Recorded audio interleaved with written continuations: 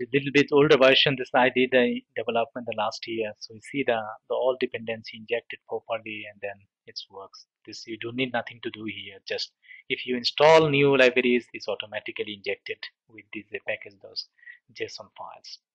And what I did, the additional one, because I said this is the enterprise level application, I need to be communicate the, the GeoServer, that's you said here, the GeoServer call, even though you can flag it like from here and then call the configuration here and call the GeoServer from the from your, your, your components.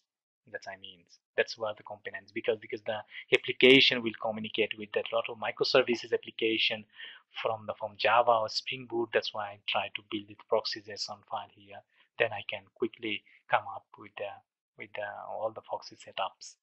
And this is the I that's I said this is the it is hard to understand, but it is the professional level application to how can structure it, how can build it, how can deploy the application is a professional level. Doesn't matter how many application, how many machines you try to install, but you just set up where your, your application, where is your server located, just you need to change here and it's automatically your application works. It doesn't here, there is nothing here to hard code it. That's the important one because the, a lot of application beginners and even though many years professional they have some problems they made love hard coded or didn't did a maybe professional application then professional configurations and then they have a lot of issues for the deployment and the client side installation. That's why I said the enterprise level application, this is the professional level uh, configuration or setup and configurations. You need to be really understand what he, he, here is done.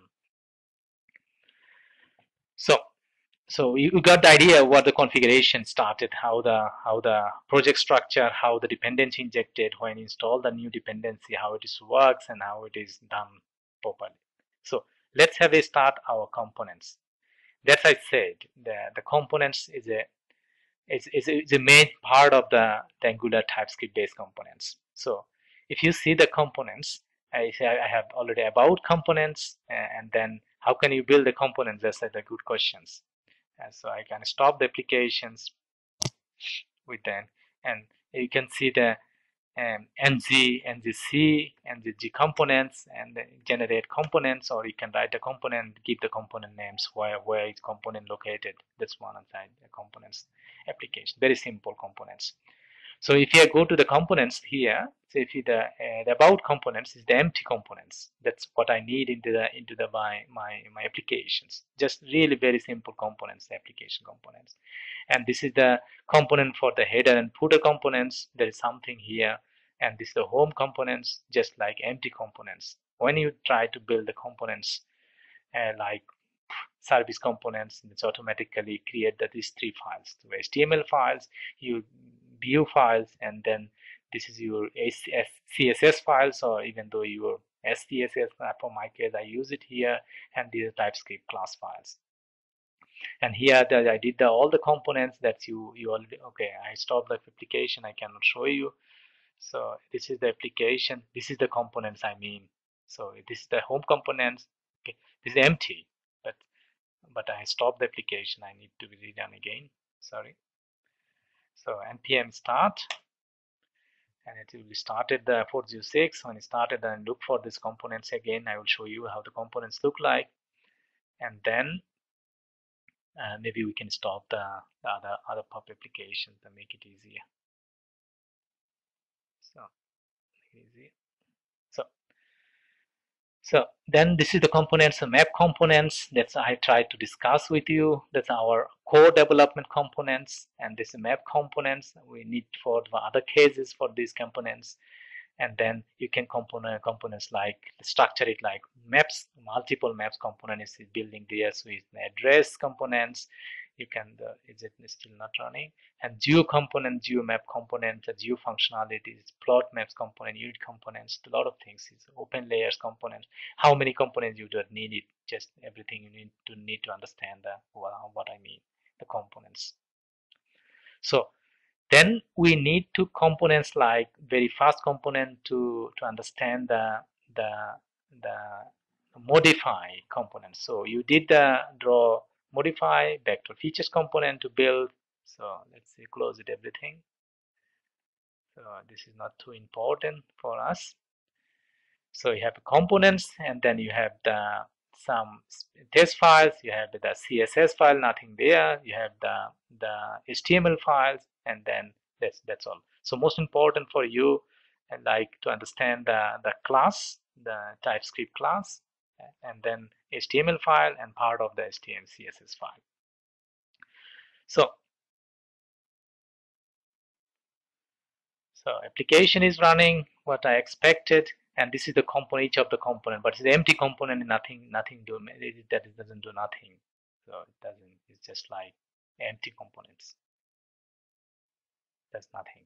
So we have i have some translation components some english german and then französisch some translation components that's what i mean so you see the pictures is translated properly but if you're working as a software developer you know how the translation works uh, the translation components but default english you can go to Bengali, Französisch, and then this is the components that I wrote it in here. I will show you how it is done. So we define the components, we build the components as a component commands, and then we start the, our implementation. This is need to be understand. So in, in the applications, what I need, the, all the necessary import, I import the here. The import and then necessary import that I need.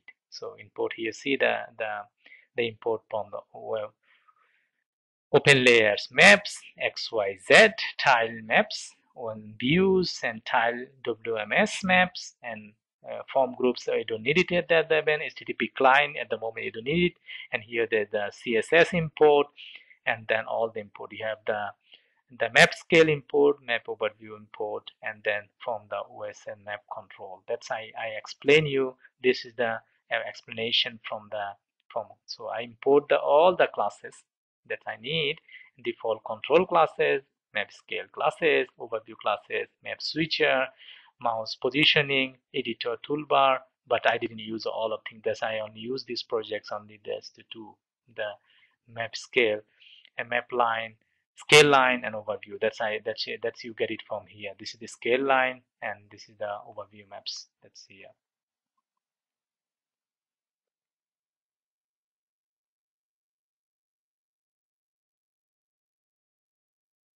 So it's overview maps.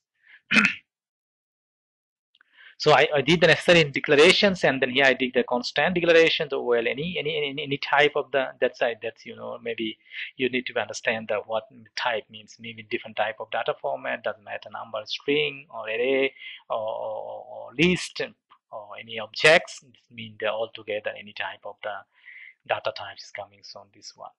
So uh, I define some some static values for like the coordinate systems here and then I define maps OM maps and the sources layers tile layers and this is the class of the of the OpenLayers and view and geometry geometry type selection features and selected value maps and this is the that's that's that's the definition of my my my my, my variables. I can say this is the objects as a definite variable definitions and i have the constructor.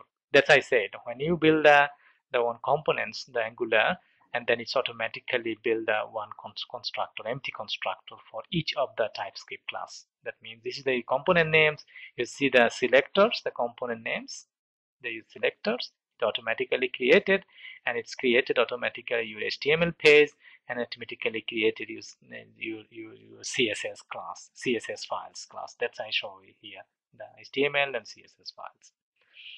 And then all the necessary import and you have a constraint because for my case I need somehow to the HTML uh, HTTP clients for the for the REST communications and I put it I didn't use it but here the, I, I put it here like uh, the, my my URL call my my my GeoServer URL call that I already show you here the Geo, GeoServer URL call here. So you have the localhost 77 GeoServer and you have the port, the layer names that's in the GeoServer URL, base URL. I mean here localhost, which machine is located because my case is the localhost and the port number GeoServer and the application yeah, Geo, Geo, yeah, UB subgroup, Geospatial and WMS services and then layer names and then you put it everything here.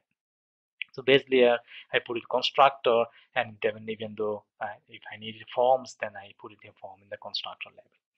And on ng ng init, that's the component automatically come this this the the, the method or action